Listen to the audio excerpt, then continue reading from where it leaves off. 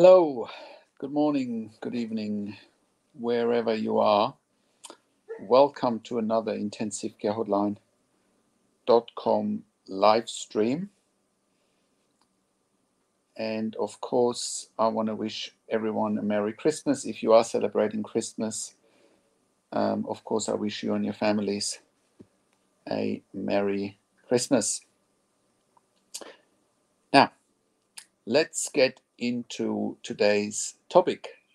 It's a topic that's been uh, much requested and been asked very often, and it is stages of coming out of a medically induced coma. Now, before we go into today's topic, uh, you may wonder what makes me qualified to talk about today's topic.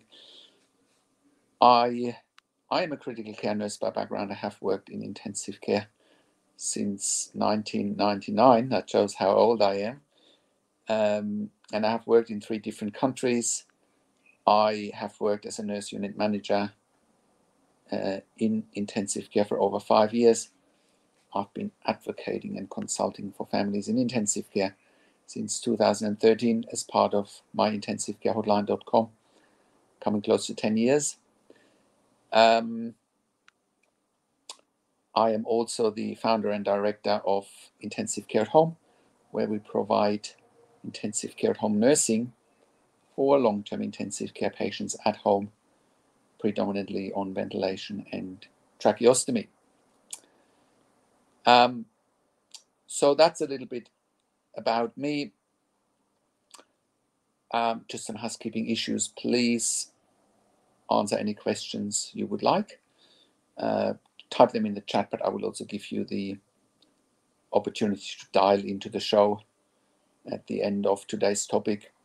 You know, you can keep the questions to today's topic, but you can also ask any questions about intensive care or intensive care related or intensive care at home related. So, without further ado, let's dive right into today's topic. Um, stages of uh, waking up, stages of coming out of a medically induced coma explained live stream. So, induced coma obviously is a big topic in intensive care. One of the most frequently asked, well, probably the most frequently asked question we get as part of intensive care hotline is how long does it take to wake up after an induced coma? And of course, you know, as to as part of today's live stream, we want to talk about what does it look like in particular, are there stages, you know, that uh, you could talk about? And what I will also say today, I do not want to talk about stages coming out of a medically induced coma after a brain injury. I, I leave that out. That would be a whole separate live stream altogether. What does it look like coming out of a medically induced coma after hypoxic brain injury, anoxic brain injury, traumatic brain injury, stroke? I'm not talking about that today. I'm talking about someone waking up after an induced coma in ICU that has no brain injury, no neurological event. Big difference. So, therefore, we need to start, you know, we need to start in even, you know, before you look at waking up, does it look differently waking up compared to what sedatives you're using, compared to what opiates you're using? And I'd say, yes, therefore, we almost need to break it down into three, four different streams of what it looks like waking up after medically induced coma, depending on what a patient in ICU is sedated with and what opiates are being used. Now, most patients in ICU that are ventilated with a breathing tube or an endotracheal tube in their mouth um, are, in a, are induced into a medically induced coma because the breathing tube is very uncomfortable. Mechanical ventilation is very uncomfortable. You know, the ICU, most ICUs will will argue that um, most ICUs will argue that you can't ventilate someone in ICU with a breathing tube without a medically induced coma. Now, shout out to my friend Kali Dayton, who will uh, claim the opposite. She works in an ICU in Colorado, I believe, where they don't sedate patients in ICU and they ventilate them without a medically induced coma. And you should check out Kali Dayton and her blog. Um, she has a lot to uh, offer.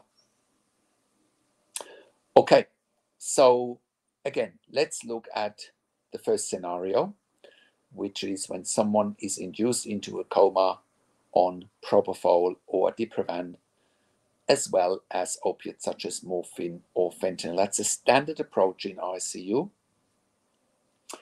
And this standard approach is often short term. So, what do I mean by short term? I'll give you an example. So, a lot of patients uh, in ICU, for example, let's just say after open heart surgery. Okay, the ideal scenario after open heart surgery in ICU is one night ICU, extubation, take the breathing tube out, and then go to a hospital floor or a hospital ward the next day.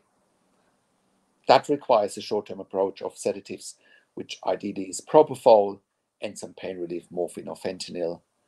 Day one of surgery, after surgery, take the breathing tube out. Patient is hemodynamically stable, not bleeding. Go to a hospital ward or a hospital floor or to a cardiac ward. So that's fairly straightforward. Why would you? Why would you use? Um, why would you use propofol in that situation? Propofol is short acting, so that means once you use propofol, you want to, you know, sedate the patient very quickly, and you also want to get them out of sedation very quickly. And that is why propofol works so well, right? You induce propofol, and patients get, for lack of a better term, induced into a sleep, coma, knocked out, whatever term you want to use, very quickly. The same uh, happens ideally when you stop propofol. Patients will wake up within minutes. Again, this is, you know, sticking with the example of when someone comes into ICU after cardiac surgery, you know, you want to have this short, sharp onset, but you also want to get people out of the induced coma very quickly. Right. So, main side effect of propofol is hypotension, low blood pressure. So the more propofol you use, you know, the higher chances are your loved one gets hypotensive or gets a low blood pressure. And therefore, um, you know, they need additional support such as inotropes or vasopressors for low blood pressure. And again, you want to avoid that because again, your goal is short-term medically induced coma, wake, wake and wean wake and wean, what a nice term. So wake patients up, wean them off the ventilator, get them out of ICU. Ideal scenario. Okay. That happens with propofol and morphine or fentanyl. Again, I've taken the example of cardiac surgery. That's not complicated. And cardiac surgery can be very complicated, but I'm talking about a straightforward cardiac case here. Right. So Let's just take the same patient after cardiac surgery. The goal is, you know, to wake and wean them, get them out of ICU day one, day two at the latest. But now you have complications. You know, God forbid, patient goes into an irregular heart rhythm. Patient has complications such as a bleed. You know, need to do a redo sternotomy. They need to open up the chest again because the patient is bleeding, and you know, they take him back to to theater to the operating room and then he comes back patient comes back to icu it's very unstable. You know very low blood pressure. You don't want to use any propofol because that's further contributing to the low blood pressure especially if used at high doses. Now you're switching over to midazolam or Versed, which is more of a long-term acting sedative and um, long-term acting sedative it's a benzodiazepine and it's addictive in nature if it's used over long periods of time. Uh, it's also unlike propofol when you switch it off, patients tend to wake up much slower. The half life is much longer, right? The half life of propofol is very short. Half life of midazolam is much higher. Also, uh, if patients in ICU are in kidney failure or in liver failure, again, it it takes much longer to get midazolam out of the system, right, which could put a delay on patients waking up uh, in ICU. You know, the other complicating factor of midazolam is again it's addictive in nature, but it also is stored in, if someone is overweight, for example, it's there's a much higher incidence of midazolam being stored in the body tissue and then, you know, staying in the system and delaying waking up. So those are issues around midazolam. The other thing that I've seen over the years is sometimes you use propofol and midazolam combined, plus morphine or fentanyl. Again, you do do this if you're, for example, proning a patient. Okay, if you're putting a patient in prone position, maybe after ARDS, right? A lot of patients would have been prone in the last few years with COVID, COVID ARDS in particular. So, um, you know, and that often delays waking up as well. The more sedatives and opiates you use, the, the bigger the delay of waking up.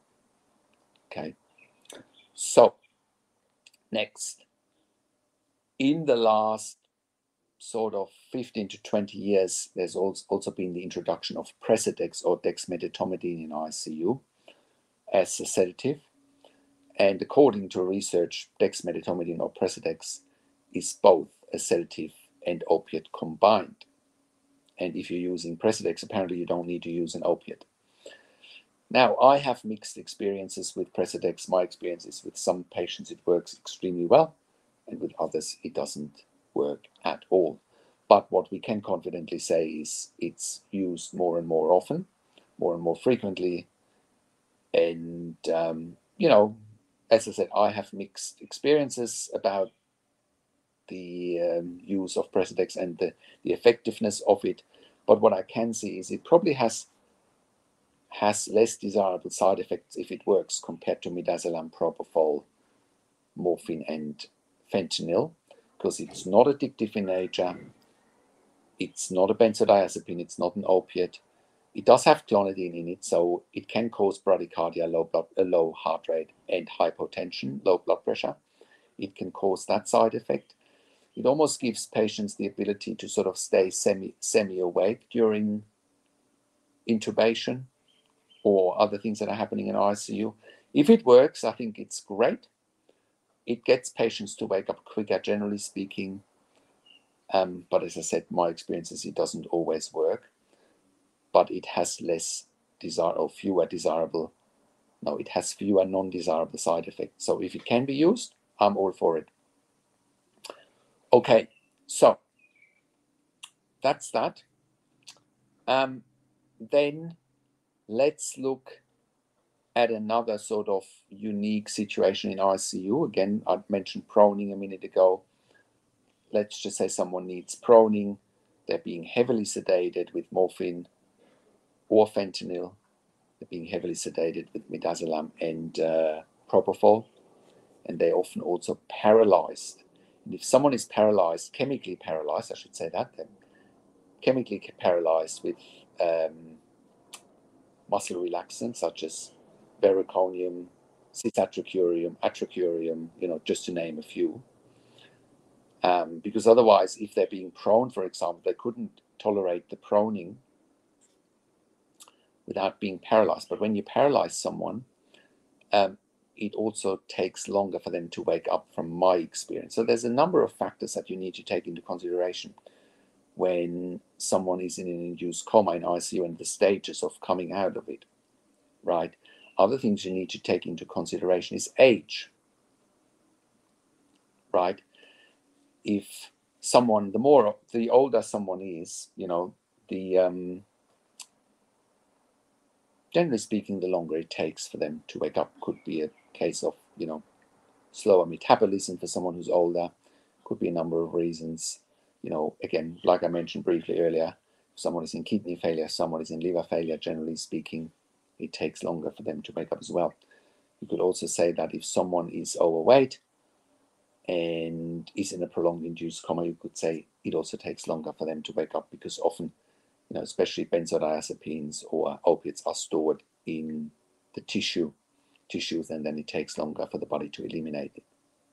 And therefore there's a delay in waking up. Okay. When I talked about when I talk about um, proning, you know, I also need to now talk about the RASS score in ICU. I don't want to get too medical. You know, the RASS score is generally speaking something that is for doctors and for nurses in ICU to to assess the depth of a coma. But I do believe I need to talk about it because, you know, uh, it helps you understand how the depth of an induced coma is measured. It helps you understand, you know, what it looks like for your end. It helps you do your own research. I, I'm a big believer that, you know, the more you understand, the better. Um, and if someone is in an induced coma and needs to be proned, you definitely need to look at the RASS score. So the RASS score goes from minus five to plus four. Minus five basically means that you know someone is not reacting to anything. Uh, someone is you know pretty much what looks like in a vegetative state. Now I do I, I don't like to use the term, but you know, when you look at the technical term, it says unrousable, unra- RASS of minus five is unrousable, no response to voice or physical stimulation. And this is what you need when someone, for example, is prone. You know, you don't want them to feel that they're prone, especially if they're critically ill. You know, you don't want that. Next, other patients that often get induced into a coma and paralyzed are patients that are not synchronizing the ventilator. They're breathing against the ventilator for whatever reason. You know, again, being ventilated with a breathing tube is very uncomfortable. And, um, you know, you need to uh, look at those situations. What do you need to do? Is sedation of morphine, if morphine, fentanyl, midazolam, propofol, Precedex, is that going to be enough when someone is resisting ventilation, someone is resisting mechanical ventilation. If someone is resisting mechanical ventilation and they have respiratory failure, doesn't matter whether it's type 1 or type 2 respiratory failure, um, you know, you need to counteract that because otherwise the patient is at risk of deterioration, potentially respiratory arrest, cardiac arrest, and you name it. So then you need to look at, I'm sorry, we need to look at um, again, paralyzing a patient again, you know. And if we need to paralyze a patient again, um, you know, does that help us achieve the goal? If it does help us achieve the goal of adequate mechanical ventilation, what are the side effects of that? Well, the side effects, again, is we're using a lot of sedation and opiates to keep the patient cooperative, if you will, uh, so we can conduct the therapies. Um, and but it also comes with the side effect that again the combination of uh, chemical paralyzing agents, chemical restraints, and heavily induced coma takes longer to wake up. And again, you got to consider age, you know, got to consider body weight and so forth. Got to consider is there is liver intact, kidneys intact, and so forth. Now, let's look at the RASS score. Let's go through the RASS score quickly as a next step. Minus 5. So again, RASS score goes from minus 5, which is unrousable, to plus 4, which is combative. You don't want either. Uh, so let's just quickly go through the stages. Minus 5 is unrousable, no response to voice or physical stimulation. Minus 4 is deep sedation, no response to voice, but movement or eye opening to physical stimulation. Minus 3 is moderate sedation, movement or eye opening to voice, but no eye contact. Minus 2 is light sedation, briefly awakens with eye contact to voice, less than 10 seconds. Minus 1 is drowsy, not fully alert, but has sustained awakening, eye opening, eye contact to voice for greater than 10 seconds. Then we've got a 0, which is alert and calm. Then we've got plus 1, which is restless, anxious but movements not aggressive or vigorous. Plus two, agitation, frequent non-purposeful movement, fights, ventilator. Plus three, very agitated, pulls or removes tubes or catheters, aggressive. And four, combative, overtly combative, violent, immediate danger to staff. Right.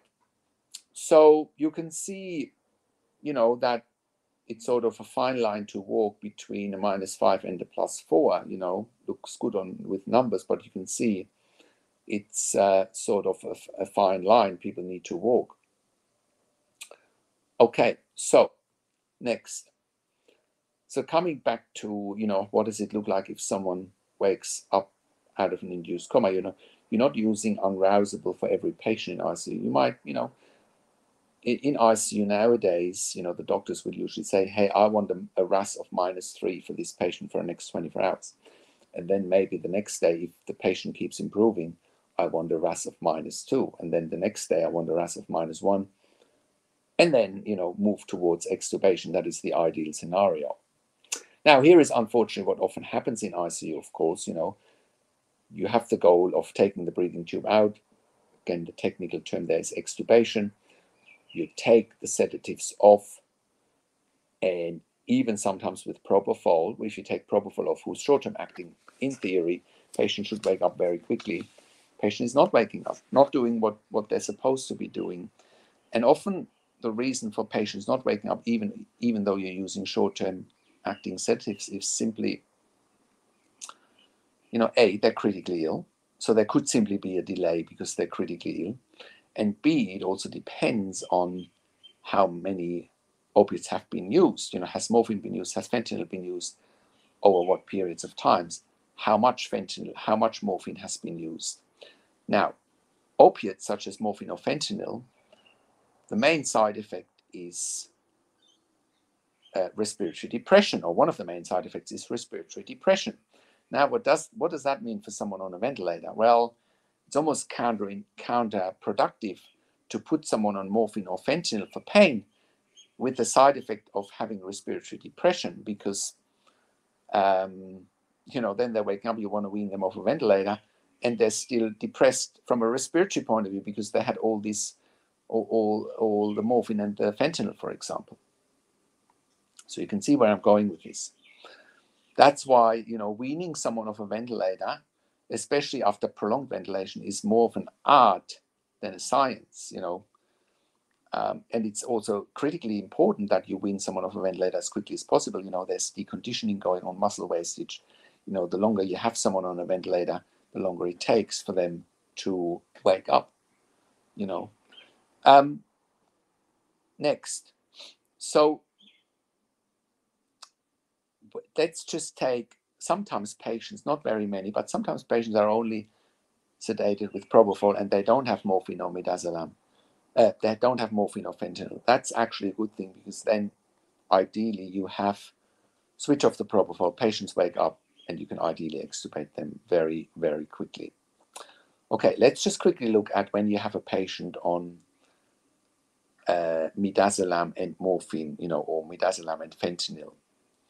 So, you know, again, if you need someone in an induced coma in ICU for a prolonged period, you often switch over from propofol and opiates to midazolam and opiates. You know, um,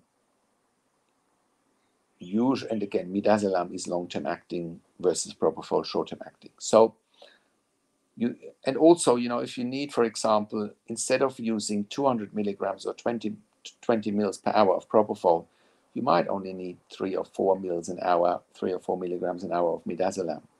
So to a degree, you can use less sedation to achieve the same or a better outcome. But then again, you have the added on complication that if you use midazolam and morphine or fentanyl over many days, and you wake then, or you wake someone up from an induced coma, you have to gradually reduce midazolam or Versed. The other term is Versed for midazolam.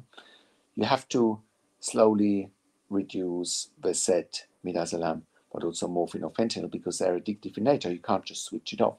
You can switch off propofol, but you can't just switch off morphine or midazolam or fentanyl. You have to gradually reduce them, often half them day by day.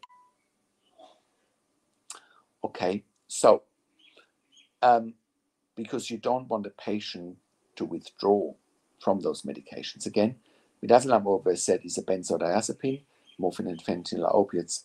Both medications are addictive in nature. Right. So next. So then you switch it off. You know, ideally your RASS keeps improving, keeps going up, by the same token, you know, um, if it's not improving, then you got to be very patient, you know, because again, like I've said many times, waking up after an induced coma is not like switching on a light. It's more like switching on a light with a dimmer. On top of that, you have, you know, the reasons for inducing someone in the coma is a critical illness. If someone is critically ill, they're exhausted, they're tired, they are sick, they're very sick. So, you know, they're often patients after an induced coma are often not waking up because they're simply tired. You know, they're crook. You know, they're very sick and they just take their time to wake up. So therefore, it's often very, you know, very difficult to put timelines on how long it takes to wake up after an induced coma. I've seen patients in ICU, they wake up within hours. I've seen patients in ICU, they wake up within days. And I've seen patients in ICU, they wake up within weeks, sometimes months. So again, it's not a one size fits all. Unfortunately, it's not a one size fits all. Um, so what else needs to happen? Obviously, you need to assess the RASS score, and you can do that yourself. You can Google the RASS score. You know, it's not rocket science. Next, you can um, Google the RASS score, have a look for yourself. You should also check GCS, Glasgow Coma Scale. You can also look that one up. Again, it's a neurological assessment tool that will give you an indication of where your loved one is at. Again, it's not rocket science. You can do the assessment yourself uh, when you look at the score. Um, so what else needs to happen? If you want to wake up someone after induced coma and they're not waking up, following things need to happen. Sit them up 30 degrees, sometimes 45 degrees. Start doing physical therapy, physiotherapy. Start doing move, movements of legs and so forth. Um, talk to them, talk to patients, of course, stimulate them, ask them if they can hear you, you know, ask them to squeeze your hands, give them a wash, give them a bed bath, do um, things such as um, brushing their teeth, washing their back, you know, that is the ideal scenario. And then move them forward from a ventilation point of view. You know, we haven't talked much about ventilation today, and I don't want to focus on ventilation. I've done plenty of other videos where I'm focusing on ventilation, even though both goes hand in hand. This is really about, you know, what does it look like for someone to wake up? Now, initially, someone in an induced coma is in a controlled ventilation mode like SIMV or CMV, where the machine is doing all the work. And as patients wake up, you change them over to CPAP or pressure support. You do the spontaneous breathing trials, and then ideally you extubate them after they are more awake, after they've shown they've got a good strong cough, after they've shown their brain is intact by them obeying commands, you know, and so forth. So that is what needs to happen. So if patients don't wake up after an induced coma for whatever reason, the next step is to rule out a neurological event. So, for example, if you can confidently say, you know, patient's not waking up for whatever reason, you've done all the right things, you've switched off sedatives, you know, you switched off opiates, they're not going through withdrawal, you know, but they're still not waking up. You give them physical therapy, you do sit them up, you talk to them, you wash them, you do mouth care, you know, you do all the right things, and people are patients are still not waking up. Their RASS is still a minus five or a minus four the Glasgow coma scale is still a three to five. What's next? What's next in a situation like that is you need to rule out a neurological event. What do I mean by that? So, worst case scenario in an induced coma is that a neurological event happens, such as, God forbid, your loved one sustains a stroke. Your loved one is having seizures un- unbeknownst to you know the doctors and the nurses because you can't really see them because patients are heavily sedated. So then, if someone is not waking up, you know, you need to do a CT scan of the brain. You need to do an MRI scan of the brain. You might potentially need and need to do an EEG. You might need to seek a neurological consult to simply rule out a stroke, seizures, brain infarct, you know, you name it, brain bleed, you know. So, because you need to rule out that not waking up is not secondary to a neurological event, right? I hope that makes sense. But, you know, you should always give a patient a couple of days at least, you know, at least. Takes three or four days, I'd say, well, you know, let's go for a CT scan of the brain, let's go for an MRI scan of the brain let's do an EEG, let's go for a neuro neurological consult. So I think um, I do believe that wraps it up for today. I do want to quickly talk about the Precedex again. Again, from my experience, Precedex is sort of a very mixed bag in my mind. Um, you know, if you have experience with Precedex, please, you know, leave your comments below. I'm very happy to learn more about it, even though I have used it many times. From my experience, it was only working on maybe one or two out of 10 patients that I looked after with Precedex. And if it works, it works well. and patients, you know, don't need a long time to wake up, generally speaking, again, assuming there's no neurological event. So that's that's where I want to leave it today. If you have any questions, comments, leave them below. Um, you know, I will answer those questions and comments. Um, now, if you have a loved one in intensive care, go to intensivecarehotline.com, call us on one of the numbers on the top of our website, or simply leave us an email or send us an email to support at intensivecarehotline.com. Also, if you uh, also have a look at our membership for families in intensive care at intensivecaresupport.org. There you have access to me and my team 24 hours a day in a membership area and via email, and we answer all questions intensive care related. If you need a medical record review for your loved one in intensive care or after intensive care, we can help you with that as well. We strongly recommend that we help you with a medical record review while your loved one is in intensive care so we can really interpret live data. But we can also help you obviously with a medical rec record review after intensive care. If you have trouble getting access to medical record records, please contact us. We can 100% help you.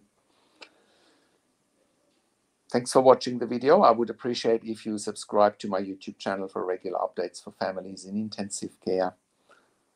Um, please share the video with your friends and families. Click the like button, click the notification bell, and comment below what you want to see next or what questions and insights you have. Um, again, thanks for watching. I'll see you again this week with my quick tip videos as well as with another YouTube live stream next uh, Sunday, 10.30 a.m.